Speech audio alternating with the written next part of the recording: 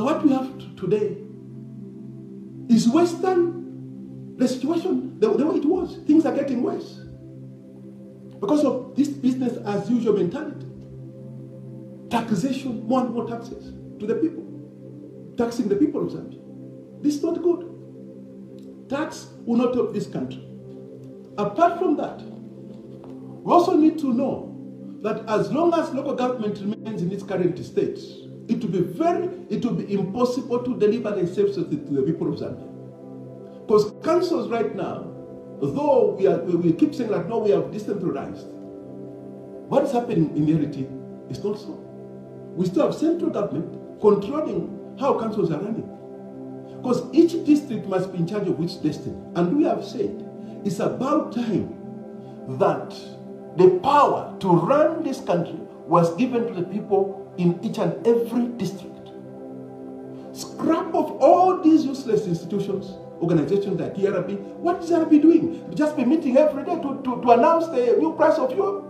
Is that why you are paying all those huge allowances, all the huge pay to this so-called ERB?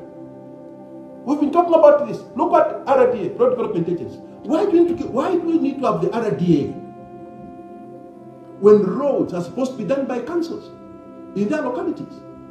We need to build capacity. If you're talking about capacity, we are building capacity in useless state corporations like RDA, National Fund Agency, ERB, useless institutions. All these must go so that all those people and these institutions must be taken to the counties, must be taken to, uh, to councils, so that these councils can be, can, can be the uh, deliverers of services to the people of Zambia. Service delivery is not a central government. Why is central government taxing the citizens? Why?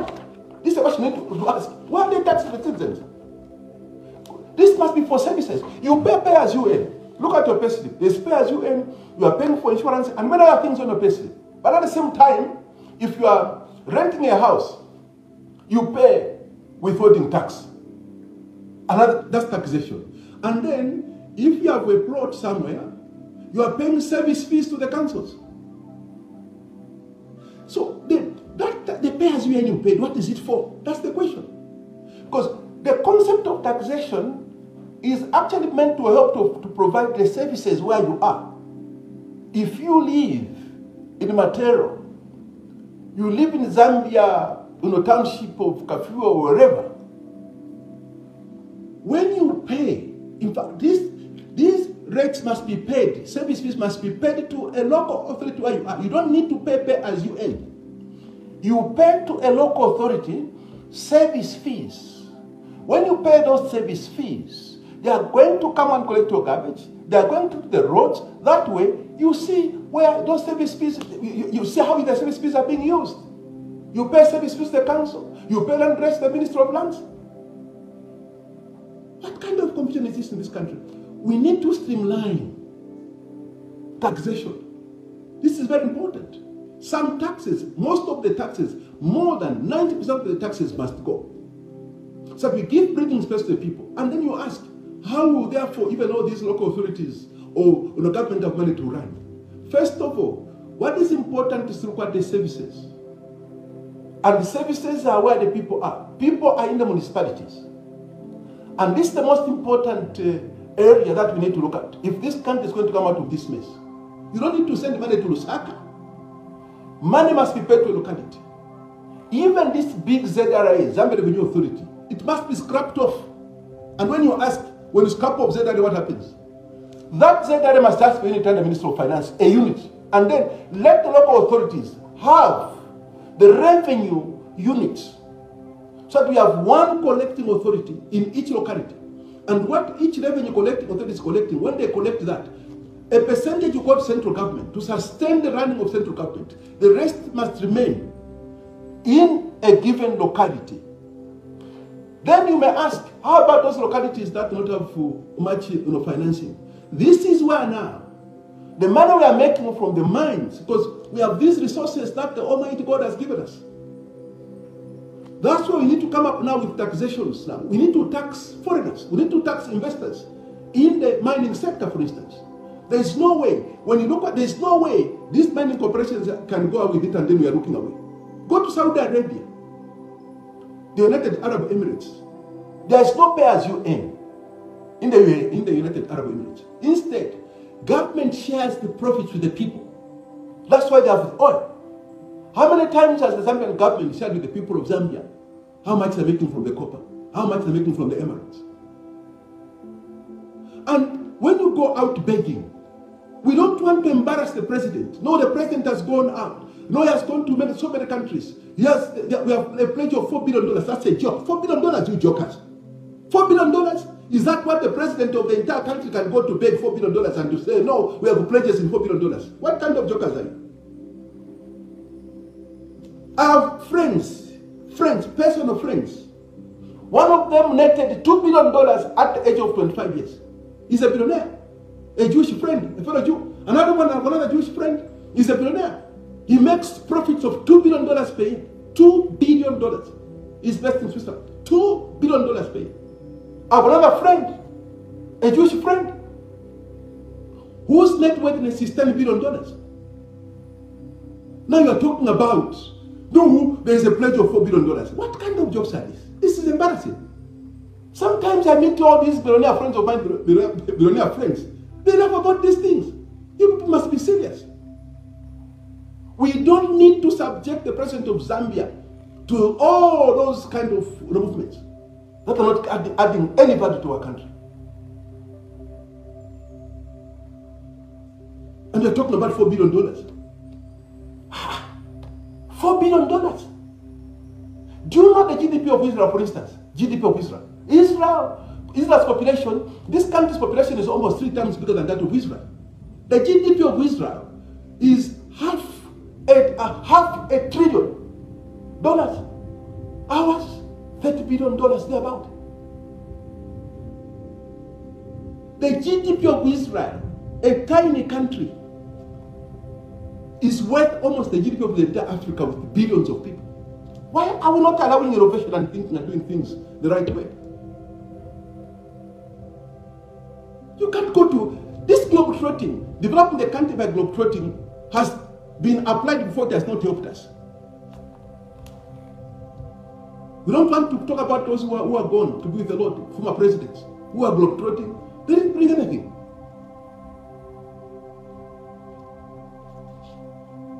And we need to focus on finding a solution here. We need to sit on a table. We need an indaba. Call the people. He who has no wisdom must seek wisdom. If you have run out of ideas, seek ideas. Sit on the table, brother. Sit on the table, consult the solutions we are looking for within this country. Don't kill local businesses. Don't kill, because when you target all these big businesses owned by our own fellow Zambians, you are looking at the money. When you go to bring in multinationals, you are taking the money out of the country. And that you expect money to be in this economy. How do you expect Zambia to, to, to come out of the problems?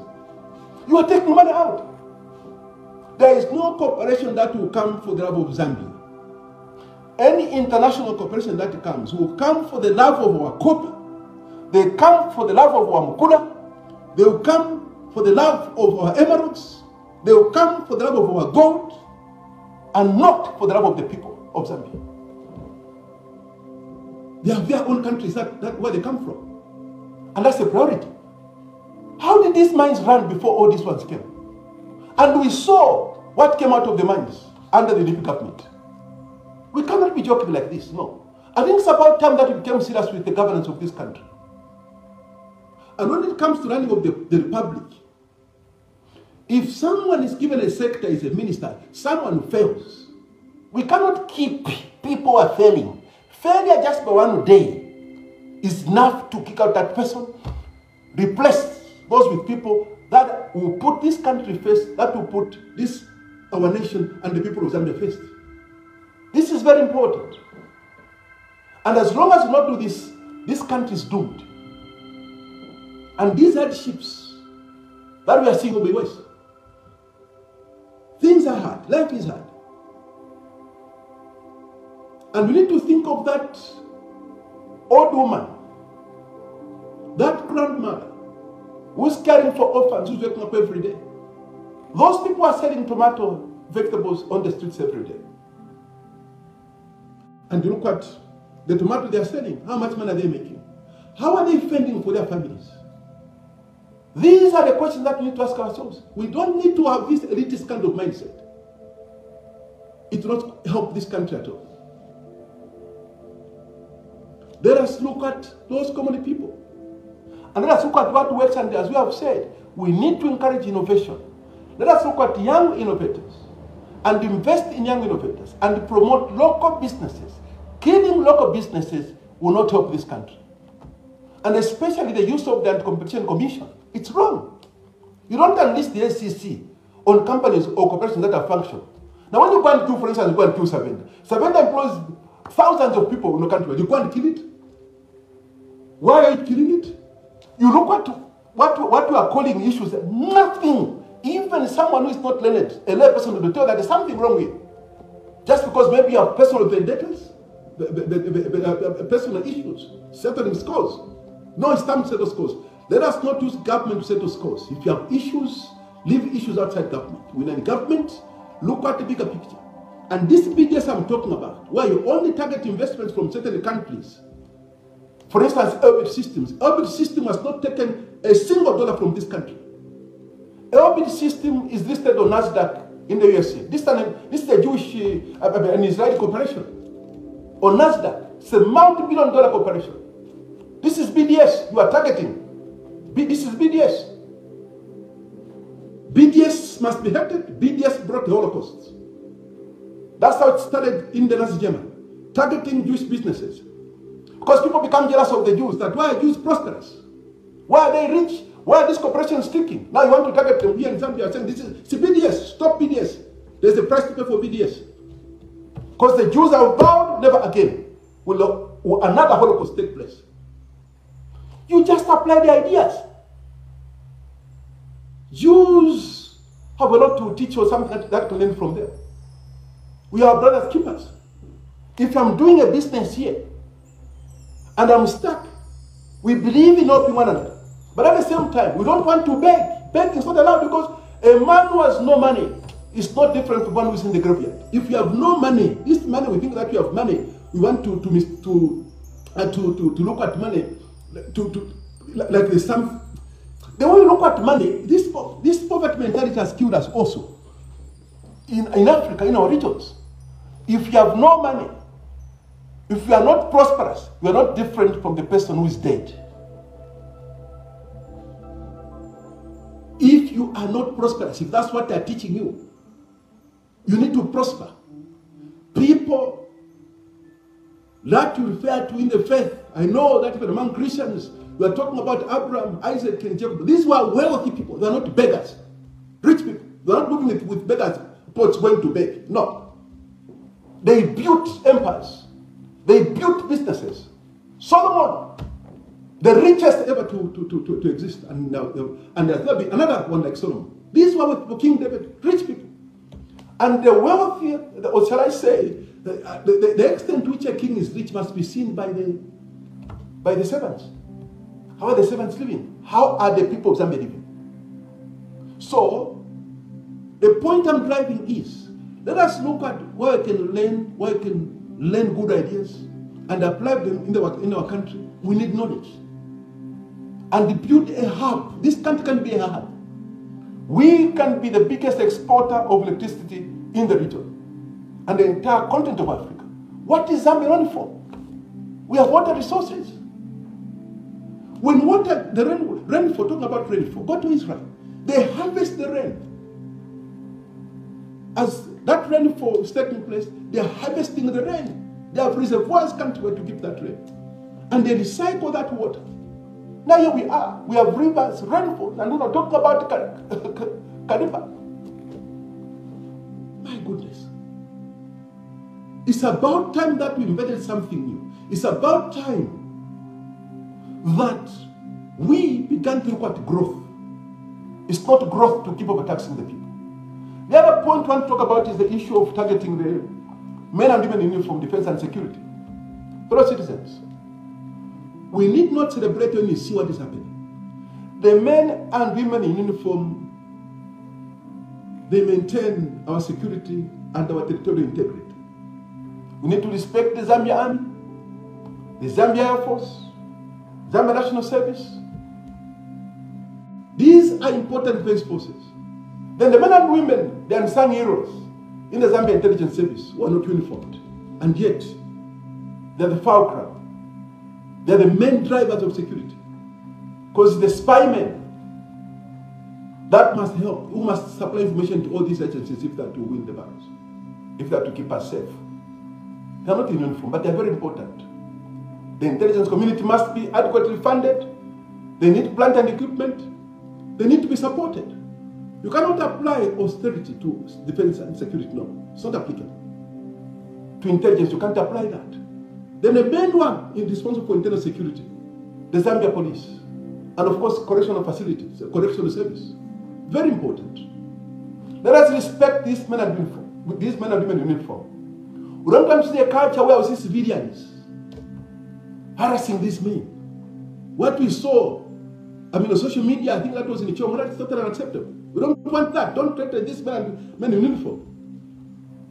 We have a defense force that, that can be proud of, the police that can be proud of. These men work under very difficult circumstances. And we need to support them. They need our support in countries where you see these men and women fighting every day to defend their nations. Citizens salute them. And I think those Zambians in the diaspora can confirm what I'm talking about in America, in the UK. When you meet a, a person in uniform, even as a civilian, you stop and say, thank you for what you do for this country. We are not doing that in this country. We are not respecting these men and women. This is totally unacceptable. And we cannot tell these men how they must run security, the security of this country. For instance, no, we don't need checkpoints. Remove this and so forth. Until you have a problem, that's when you understand the significance of checkpoints.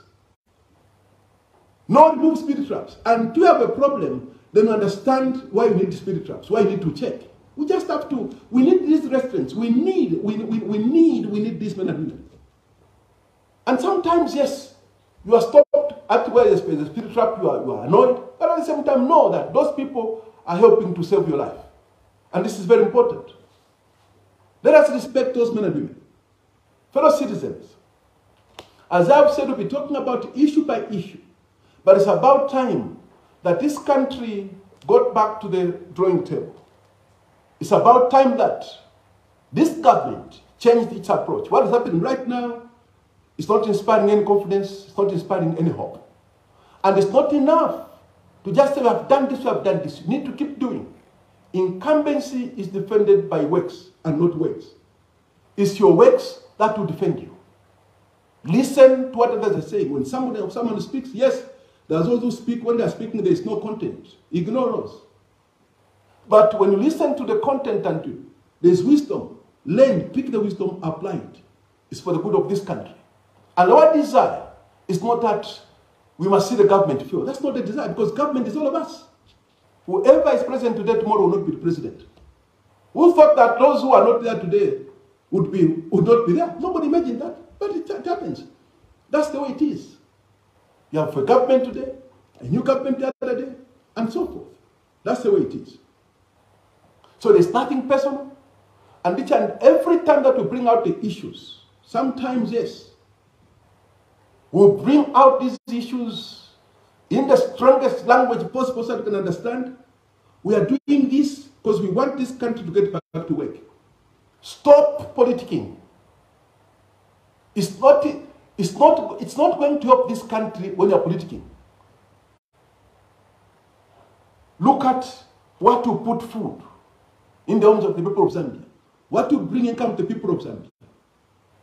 Look at what will bring innovation and learn from those examples that I worked elsewhere. It's through innovation that jobs will be created. It's through industry that jobs will be created. It's not by all this that we're trade and so forth, and then promoting other corporations from abroad to come and take over the mines. And so we have found an investor. We have been there before. Which investor would come to have the interest of the miners, only capable to have the, the interest of this country? These are mining corporations uh, that through price transferring, they are not declaring profits. They are not paying anything. Meaning our copper is being depleted, our emeralds are being depleted. And look what the emerald sector is foreign. The biggest, the biggest controller of the emerald sector is a foreign. And we are here citizens. And we are cheerleaders. They are taking out our resources, we are cheering.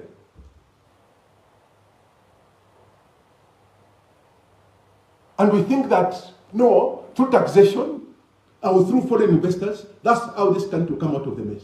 It will not.